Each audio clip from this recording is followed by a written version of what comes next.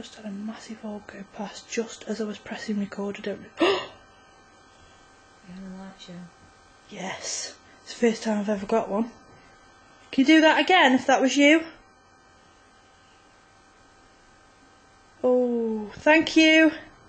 There's a little machine on the on the rug, and if you speak, you, we might be able to hear you when we play it back. I hope you don't mind.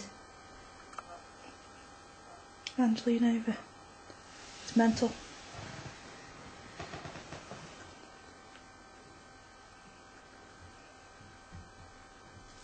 Keep watching down there.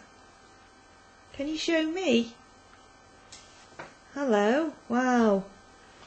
That is absolutely fantastic. Have a look, John, if you want. Orbs, Flying What? about. light anomalies flying about. And another one. They're going up, they're going down, they're going across.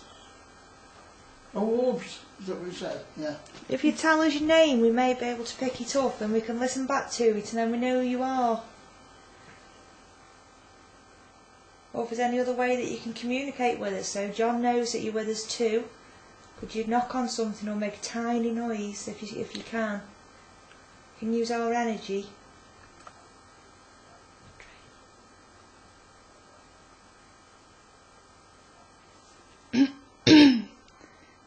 Tap on the window or Make a loud bang anywhere in the house.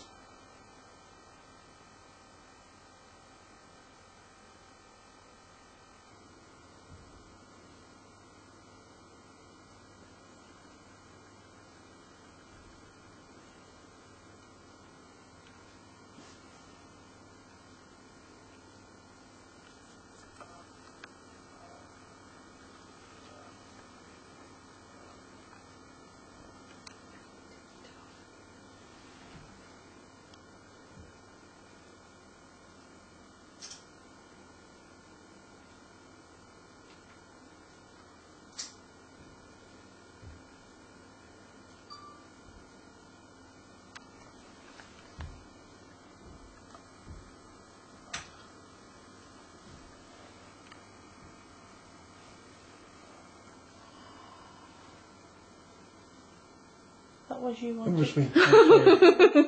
yeah, so sorry. Yeah. Is there anybody with us now that wants to make contact with us? Can you touch one of us or make a little tapping noise somewhere in the room?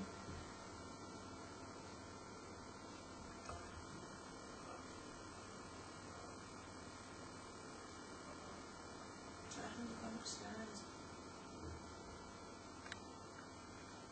We don't mean to, to frighten you or cause you any harm at all.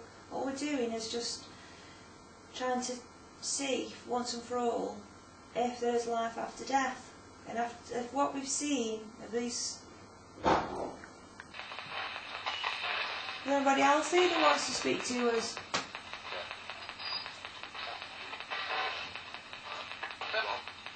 Bill. Yeah,